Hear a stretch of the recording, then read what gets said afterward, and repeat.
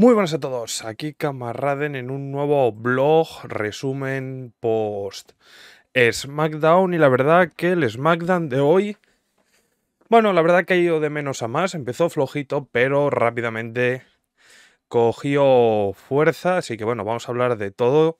Se nos está quedando un camino para Elimination Chamber muy bueno, pero antes de empezar recordad que si os suscribís, dais me gusta al vídeo y activáis la campanita, me ayudáis un montón a crecer. Estamos camino ya de los 4.000 eh, suscriptores y me haría mucha ilusión poder llegar antes de WrestleMania y que mi primer vídeo con 4.000 seguidores fuese el WrestleMania. Pero bueno, vamos a hablar del show de hoy, un show que comenzó con Paul Heyman dando una promo, muy buena promo, como siempre Paul Heyman es un maestro del micro. Y bueno, básicamente Paul habla de que eh, desde que él está con Roman, bueno, miento, desde que él venció junto a Brock Lesnar al enterrador en WrestleMania, él no da predicciones, él hace spoilers. Y bueno, dice que la isla de la reverencia está bajo doble ataque, ya que el retador número uno al título, Sami Zayn, está por ahí merodeando y atacando al jefe tribal. Y también, bueno, el público cuando menciona a Sami Zayn cobrea su nombre, pero dice que Sami no está aquí esta noche. Y además ridiculiza la idea de, que Sami sea el campeón indiscutido de la WWE. Y también menciona que Cody Rose también les está atacando en Raw, que acorraló a Paul Heyman contra el esquinero eh, esta misma semana, que si no lo habéis visto tendréis aquí el review, resumen de Raw. Y que dice, no es que yo solo quiero luchar por el título, pero todo el mundo lo está haciendo personal. Lo ha dicho tal cual, ¿eh? no sé yo.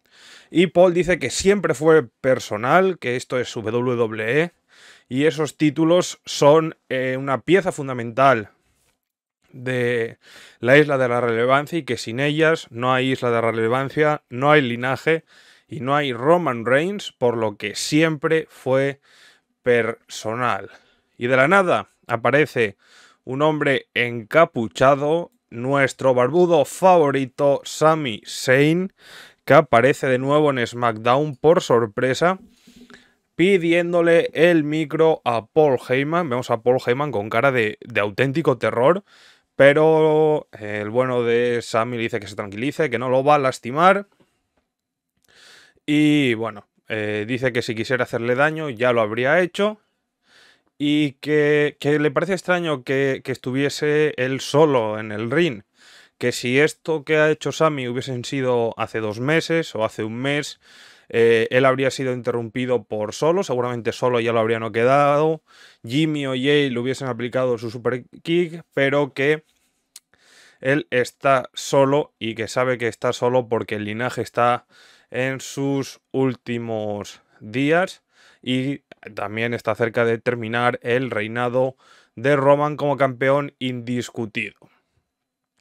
Eh, dice que él que fue él quien se fue del linaje, que Jay fue el que decidió dar la espalda al linaje y que si piensa que Jimmy no, no hará lo mismo, si piensa que Jimmy se va a ir con su primo el abusador o va a seguir a su hermano gemelo y que, que le, y le, pregunta qué cree que, pasará con, con, Solo cuando Roman se dé cuenta de que puede pensar por sí mismo. Y que incluso Paul Heyman está hablando de, de la vida sin Roman Reigns, o sea, dando a entender que es una posibilidad de que esa vida sin Roman Reigns como campeón pueda llegar a, a existir y que sin duda eso es porque el linaje está en, eh, en horas bajas.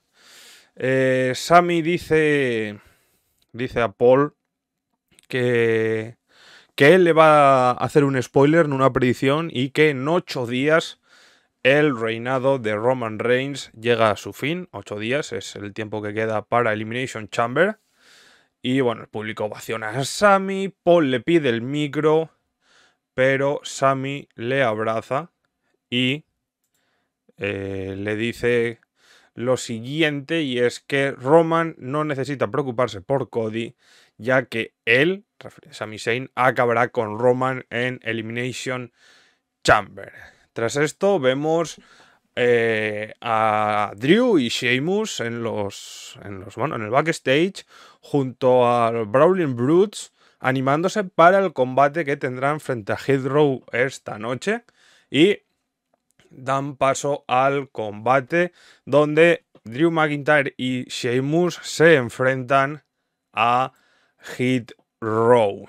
Eh, la verdad que un combate un tanto extraño, pero bueno, nos explicaron que eh, Top, eh, Top Dola y, Adonis fueron a quejarse a Adam Pierce de que debían ser ellos los que estuvieran en la final de, del título y no Ricochet y Braun Strowman y que ellos podrían haber ganado el combate. Entonces dice Adam Pierce, oh, qué buena idea. Entonces os vais a enfrentar a los Brawling Brutes esta noche y bueno, Drew comenzaría derribando a Adonis con su característico cabezazo y ya preparaba la Claymore nada más empezar. Y os digo, primer minuto de combate. Pero bueno, Top Dollar sacaría a Adonis del ring. Un Top Dollar que no sería dado el relevo en ningún momento del combate. Algo muy extraño. Pero ya os digo que el combate fue muy, muy corto. Drew le dio el relevo a Sheamus que se encaró con Top Dollar fuera del ring y buscaba los machetazos sobre Adonis, pero cuando los estaba cargando, Top Dollar quiso intervenir y los acabó recibiendo. Adonis sufrió un superplex de vuelta en el ring eh, de Sheamus cuando intentaba impedir el relevo a Drew McIntyre y Drew le aplicó una tremenda Claymore a Botch Dollar que intentaba impedir que eh, el bueno de Sheamus le aplicase su dropkick a Adonis, pero bueno, se llevó la Claymore, Sheamus aplicó su dropkick y finalizó el combate, sumando así otra victoria más para este tag team que se ve imponente. Y bueno, pues tras el combate veríamos un vídeo de Valhalla y los Viking Riders retando a Drew y Sheamus en el SmackDown de la semana que viene. Sinceramente, no me gusta demasiado la rivalidad entre Viking Riders y Sheamus y Drew, porque creo que Sheamus y Drew deberían subir el nivel, optar a grandes ligas. Y sinceramente me hubiese gustado que fuesen ellos los retadores por los títulos de SmackDown. Así que bueno, veremos a ver cómo cómo evoluciona la división por parejas, pero sinceramente me gustaría un WrestleMania con Drew y Sheamus luchando por los títulos en pareja y, si puede ser, ganándolos. Sí, bueno, un segmento de backstage donde Jimmy llama a su hermano porque no está en la arena para la defensa titular que tienen esta noche y la verdad que se le veía francamente preocupado una promo de Carrion Cross, como siempre en blanco y negro y junto a Scarlett, que es lo único que tiene, el blanco y negro y Scarlett, diciendo que esta noche hará sufrir a Rey Mysterio.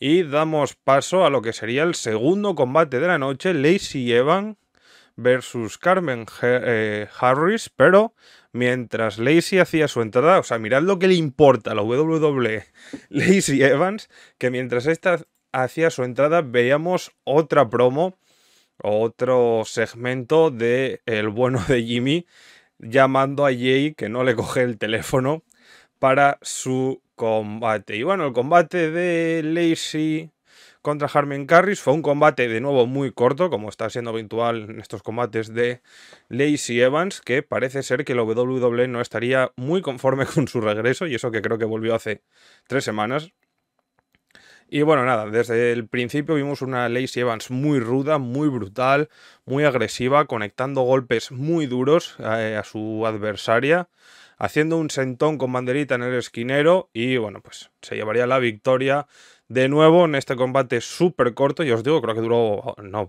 apenas 5 minutos, si es que los duró, con su candado cobra. La verdad que Lacey Evans está recibiendo un push pero creo que no le está haciendo ningún bien, apenas genera reacciones en sus combates y realmente es que no ha ganado a nadie importante, porque sí es verdad que ha ganado muy fácilmente, pero contra Carmen Harris y la semana pasada contra una, una wrestler local. Yo creo que si Lacey tuviese un combate o alguna rivalidad contra una figura importante de la división femenina, ganaría más credibilidad. Pero de momento, pues ahí está, eh, dándonos squashes eh, muy random. Sinceramente, no me está gustando nada el papel que está teniendo Lacey Evans en esta nueva etapa, a pesar de que como Hills, como Hill funciona muy bien con el público, pero lo que es el desarrollo en el ring, bastante, bastante nulo por el momento. Y de nuevo volvemos a backstage donde vemos a Jimmy tratando de llamar de nuevo a su hermano. Y aparece Paul para preguntar y dice que bueno, queda por hecho que no sabe nada de su hermano. Jimmy le confirma que no sabemos nada y vemos a un Jimmy muy preocupado. Pero bueno, Paul no le estaba prestando atención, le estaba preocupado porque Jimmy no fue a ayudarle y Jimmy dice que él estaba ocupado intentando localizar a su hermano porque tiene que defender los títulos, que es lo importante ahora, y que solo no está en la arena. Este, de hecho, hay un segmento muy cómico y es que Jay le dice, oye, Jimmy, perdón, le dice, oye, ya que estás tú aquí, ¿me podías ayudar? Y dice, no, no, no, no, no, lo siento, tú, tú estás solo en esto. Y dice que, que bueno, que está seguro que Jay estará aquí porque es su hermano.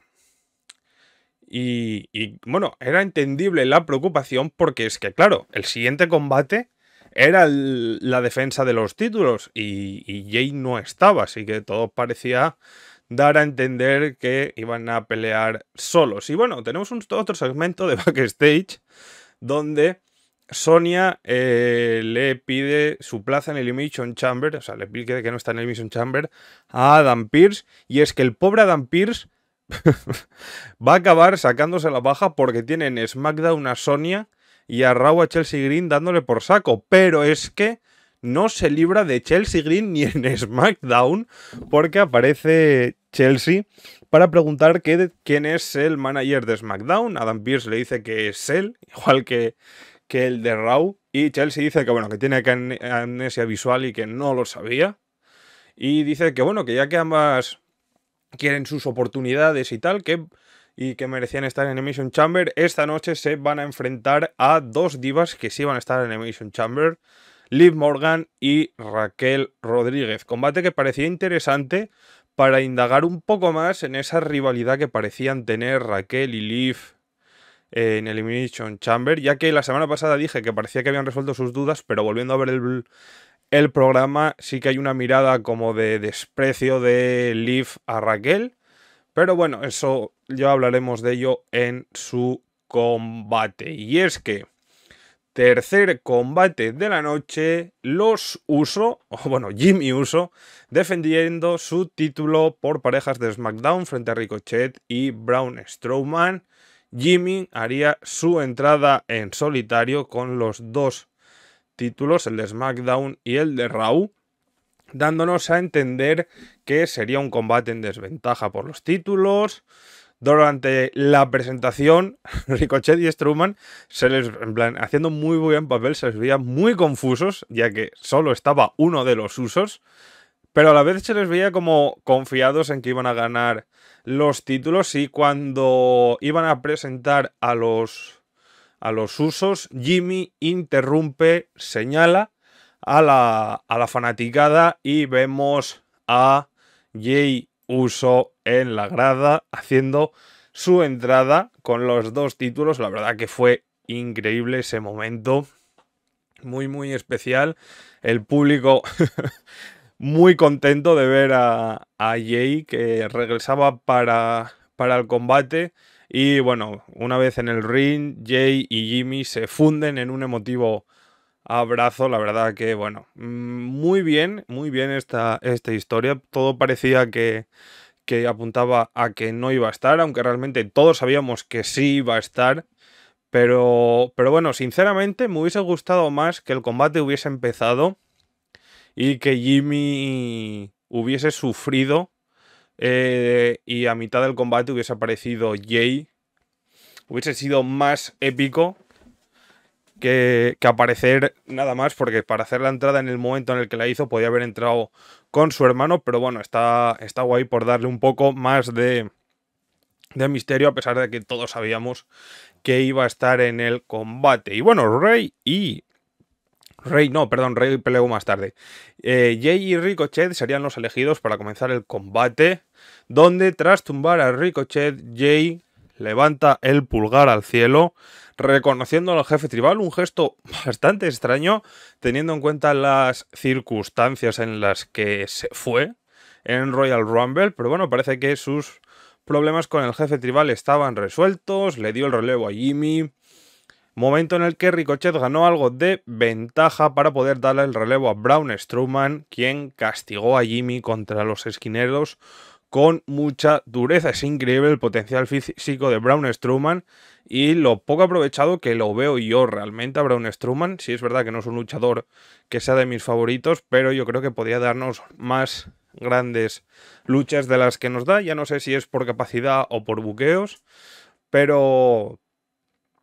Pero bueno, la verdad que tuvieron una movida bastante guay y es que en el esquinero Brown lanzó a Ricochet sobre él, a Strowman le aplicó un clothesline y del rebote Ricochet le aplicó la double kick para derribar a Jimmy y castigarlo con varios codazos. Jimmy conseguiría darle el relevo y aplicarle una movida conjunta junto a Jay, donde Jimmy le serviría a Ricochet para el Samoan Drop y una posterior super kick que sacaría a Ricochet del cuadrilátero. La verdad que el combate fue muy muy bueno, tanto por parte de los usos como por parte de Strowman y Ricochet. La verdad que sobre todo Ricochet dio un espectáculo con todas sus movidas aéreas, encaja muy bien en un combate contra los usos.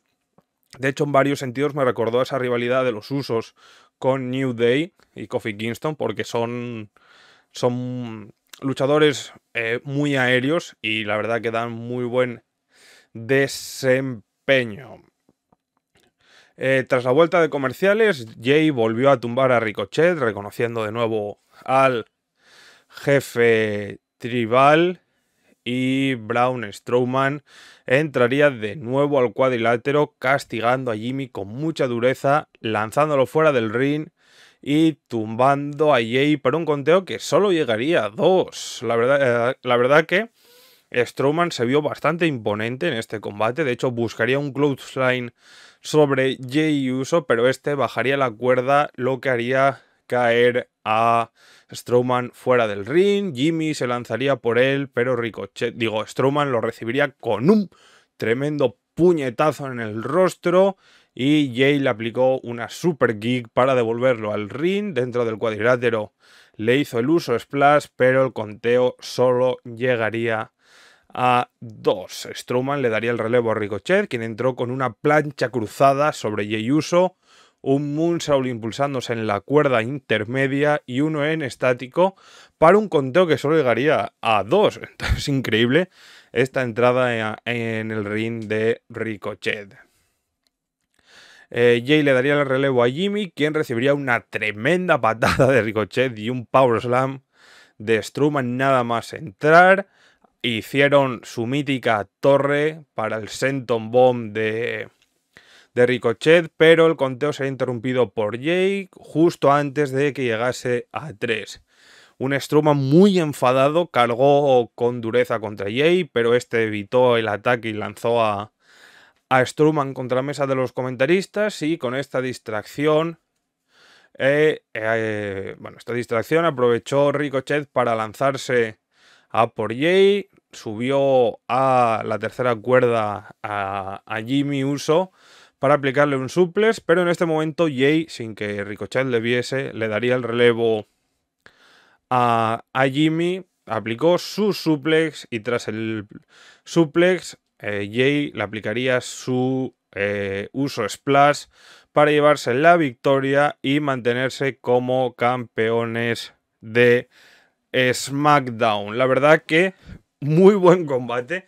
Fue espectacular, a pesar de que mataron rápidamente el misterio del posible regreso de Jay al entrar nada más empezar, pero el combate fue muy bueno, muy buenos spots, los usos son espectaculares en la división Tag Team Y la verdad que el tag team Ricochet Strowman a mí me gusta, a pesar de no ser gran fan de Braun Strowman, creo que tienen un muy buen desempeño y fueron unos dignos oponentes para los usos, dándonos uno de los mejores, si no el mejor combate de la noche. Y bueno, tras esto, un segmento de Rey en el vestuario diciéndole a Carrion Cross que nadie lo detendrá de ser retador intercontinental. Y de nuevo un segmento backstage donde Jay le dice a Jimmy que siempre le va a cubrir las espaldas. Este le pregunta si está o no con el linaje. Y él dice que no lo sabe, pero bueno, vemos a Paul Heyman que escuchó todo detrás de una columna. Paul le pregunta si Jay le dijo algo y Jimmy dice que no, que solo se fue mintiendo a Paul Heyman que se fue teléfono en mano seguramente a llamar al jefe tribal. Y bueno, volvemos al ring donde Natalia daría una promo hablando de que por primera vez en 15 años Shaina la quitó del camino y es que parece ser que Natalia nunca se había lesionado y bueno, Shaina le rompió la nariz y tuvieron que retirarse. Dice que Shaina es una copia barata de Ronda y Shaina interrumpe a Natalia diciendo que está cansada de que todo el mundo la menosprecie y que ella ya competía antes de que Ronda Rousey estuviese por aquí.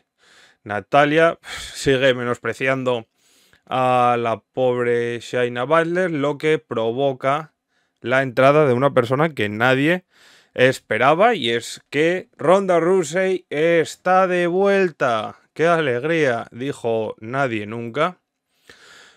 Y bueno, parece ser que Ronda Rousey está de vuelta. Esta vez eh, parece ser que va a formar parte de la división en pareja. Y bueno, esta iba a atacar a, Natalia, pero Shaina Butler la detiene para ser ella quien ataca a Natalia.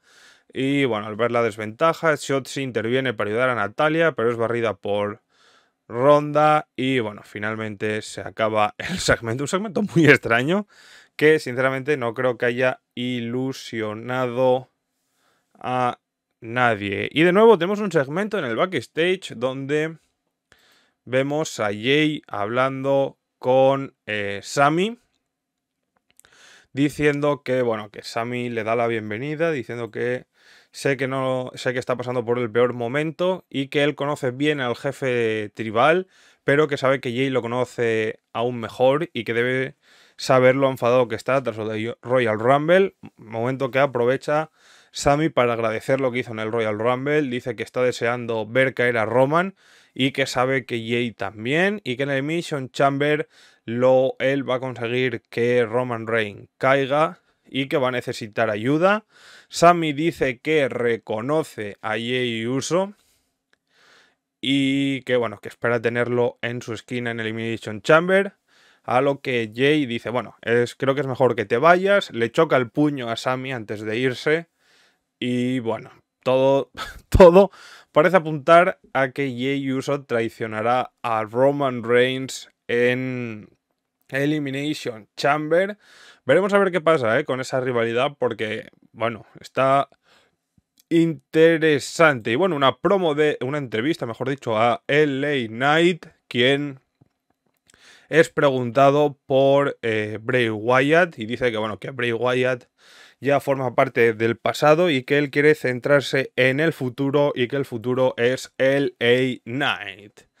Y bueno, combate de cuatro, bueno, cuatro esquinas no, perdón, el tag team irrelevante de la noche, Chelsea Green y Sonia Deville versus Raquel y Liv Morgan. Y bueno, ya durante la presentación vimos lo que nos iba a deparar el combate y es que eh, Sonia Deville estaba haciendo su mítico saludo a cámara, pero Chelsea Green se pone delante jodiéndole el plano y bueno, Sonia y Liv empezarían el combate. Liv con una demostración de movidas de esquiva muy buenos, la verdad que hizo muy buenas acrobacias para evitar los ataques de Sonia Deville. Liv Morgan cada vez se la ve más suelta en el ring. Espero que este desempeño que está realizando en los últimos meses le sirva para tener un push y quizás optar a algún título femenino grande pronto de nuevo. Sabéis que Liv fue campeona de SmackDown, pero lo perdió contra Ronda Rousey de una forma muy extraña. Pero bueno, parece que Liv ha mejorado desde aquel entonces y quizás podríamos tener otra run de Liv por uno de los títulos. Quizás en Elimination Chamber veamos a Liv ganar y enfrentarse en WrestleMania a Bianca Belair. Y bueno, tras bueno, tras esto Sonia buscaría las alturas, pero recibiría un rodillazo por parte de Liv Morgan. Chelsea Green aprovecharía para darse el relevo a sí misma y entró para castigar a Liv contra el esquinero, buscando un conteo, pero bueno, no progresaría y Chelsea se encararía con el árbitro, dando de nuevo el relevo a Sonia. Y aquí llega el sinsentido del combate. Mientras Sonia discutía con el árbitro, eh, Chelsea Green agarró del pelo a Liv para que no diese el relevo a Raquel Rodríguez. Eh, Sonia cargó contra ella, pero impactó sin querer contra Chelsea Green, lanzándola fuera del ring. Y este momento Liv lo aprovecharía para darle el relevo a Raquel Rodríguez. Entró para arrasar con Sonia Deville. Eh, Chelsea Green, aparentemente desorientada, volvió a subirse a su esquina, pero estaría de espaldas.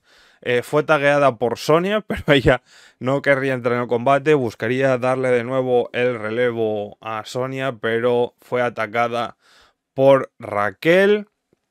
Eh, y bueno, básicamente Raquel le aplicó su chingona bomb, el Olivion y finalmente Raquel lanzó con un power bomb a Liv Morgan sobre Chelsea Green, lo que provocó la derrota de Chelsea y Sonia. La verdad que me gusta este nuevo papel de Chelsea Green, a pesar de, de que esté en la empresa como una Jover está haciendo el papel de pija repelente que le queda muy bien, pero bueno, sinceramente espero que en algún momento podamos ver a Chelsea teniendo una relevancia mayor en la compañía. La verdad que funciona muy bien en ese, en ese papel de Jover repelente, igual que Sonia en SmackDown, pero sinceramente espero que en algún momento la podamos ver pues en las grandes ligas, ¿no?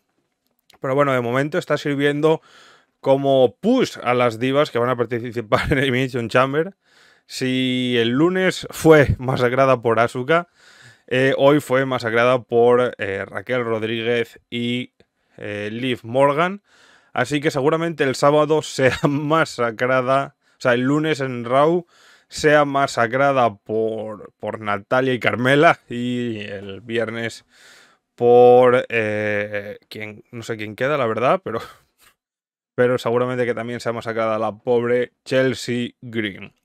Y bueno, momento del main event. Sinceramente, no entiendo cómo este combate fue el main event. Debería haber sido la defensa titular de los usos.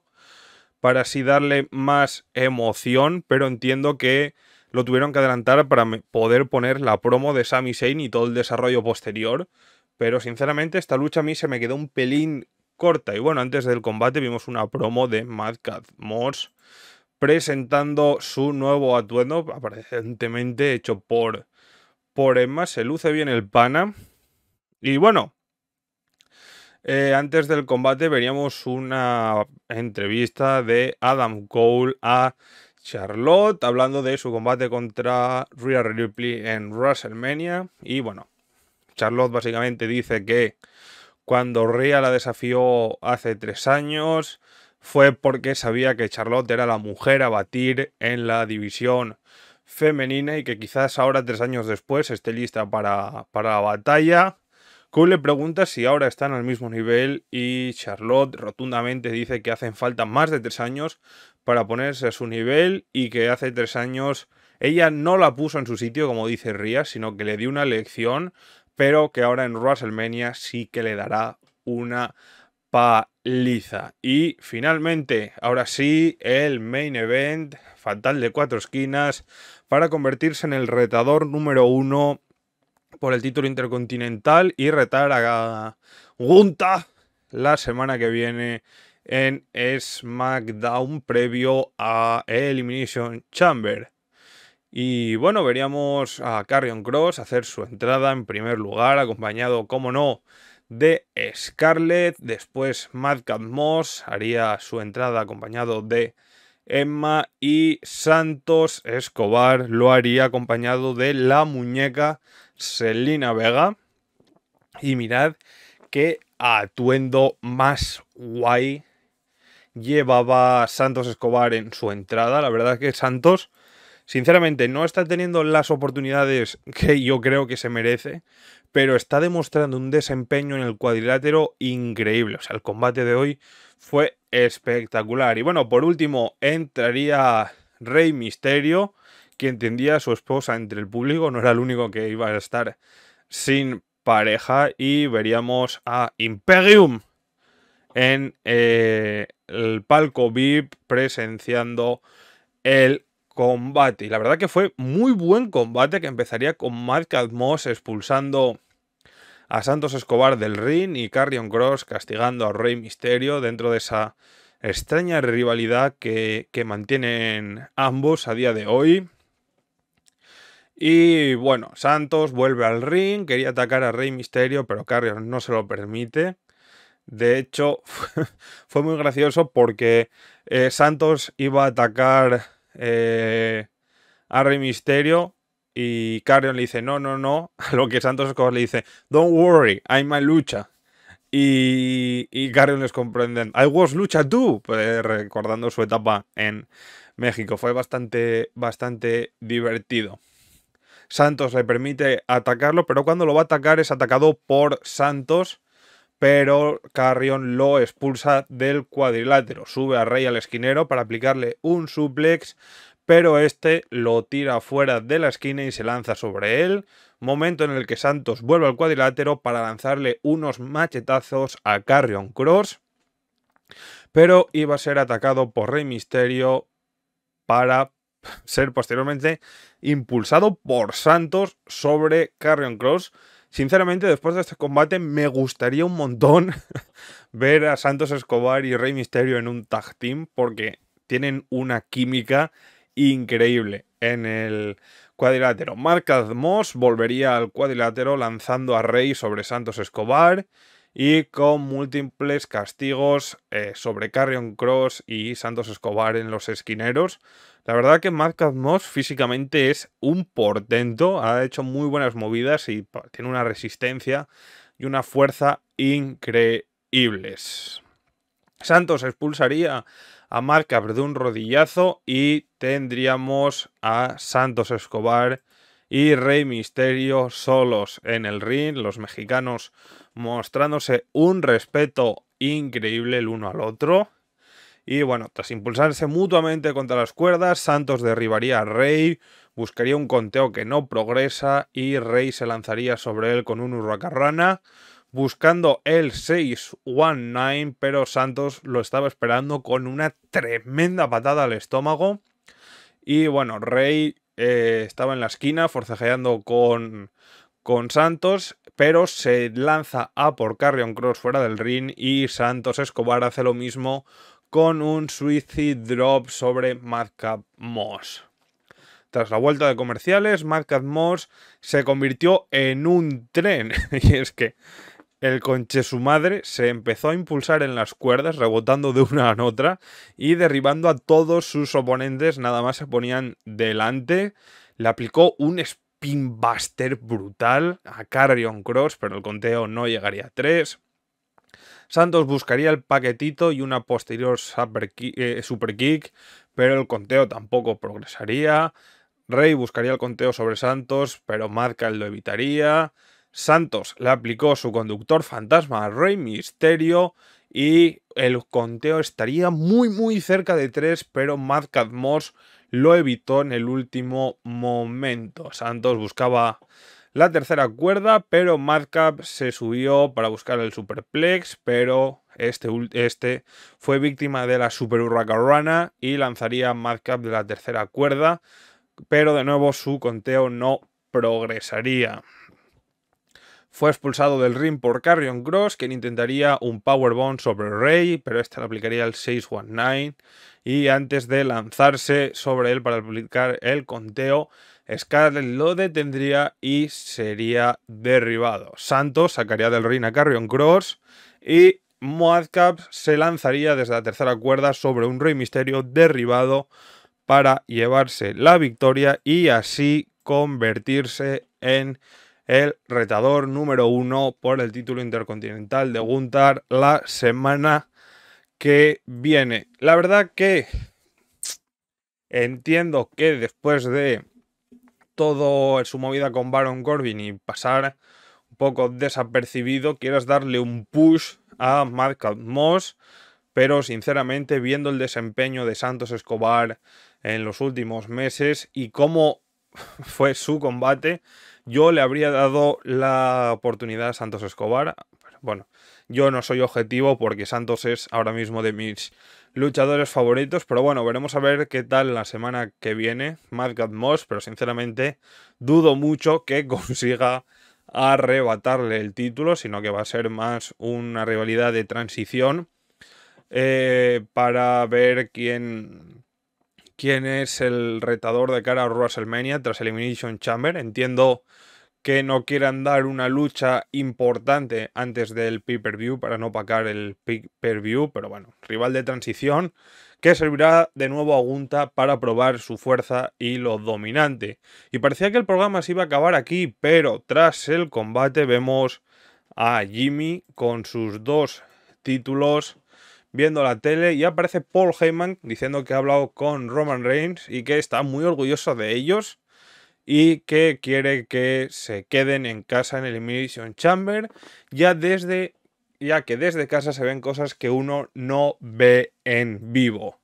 No sé si esto hace referencia a que el jefe tribal ha visto eh, como Jay decía que no estaba seguro de formar parte del linaje o si vio el segmento donde Jay habla de traicionar a Roman Reigns con Sammy. La verdad que todo esto de la rivalidad de Sammy con Roman Reigns está siendo increíble a nivel narrativo. Cada semana, eh, cada avance, cada promo están siendo espectaculares. No hacen nada más que generar más interés en un combate que ya de por sí resulta muy, muy interesante. Y es que realmente lo mejor de, SmackDown es, igual que en Raw, lo mejor de, de, Raw suelen ser las promos de Cody. En SmackDown todo lo relacionado con el linaje se roba absolutamente el show. Es increíble la popularidad que ha ganado Sami Zayn, un luchador midcard, ahora a protagonizar el main event de Elimination Chamber. además en su casa, Montreal, y de ser ovacionado en cada arena. Es espectacular las reacciones que generan el luchador. En general, el show comenzó muy bien. La promo de Sammy Paul fue muy buena. Quizás no tanto como la de Cody, de Raw, pero fue muy buena. Se nota que, que Sammy cuenta con el apoyo de la fanaticada. Eh, todo, el, segmento de EA y Jimmy estuvo muy bien, aunque quizás yo no hubiese sacado a Jay nada más empezar el combate, sino que hubiese hecho que llegase tarde para darle más épica a la gesta, pero en general muy bien, pero es que el resto de combates, quizás quitando la... el fatal de cuatro esquinas, me sobraron totalmente. Eh, los dos primeros combates fueron squashes totales que solo han servido para... Bueno, el de Lacey Evans ni siquiera, o sea, Lacey Evans no sirvió para nada Puedes haber puesto una promo. no tenemos noticias de Bray Wyatt. Eh, parece ser que se lo ha tragado la tierra. Y eso, y eso que la semana pasada vimos el segmento del tío Judy con él. Pero esta semana no hay noticias de, de Wyatt. Sinceramente hubiese reemplazado el combate de Lacey Evans por un segmento de Bray Wyatt. Pero bueno, en general le voy a dar un 6 al show porque las promos y todo el tema de Jay, el linaje, estuvo bastante guay y el Fatal de Cuatro Esquinas, pese a que no lo ganó Santos, fue muy buen combate. Así que nada, nos vemos el lunes con la review de Raw, el Raw de semana de Elimination Chamber. El viernes estaremos de vuelta con el con el blog del SmackDown previo a Elimination Chamber y el sábado, como no podía ser de otra forma, el blog de Elimination Chamber donde quizás o quizás no celebremos nuestro nuevo campeón indiscutido.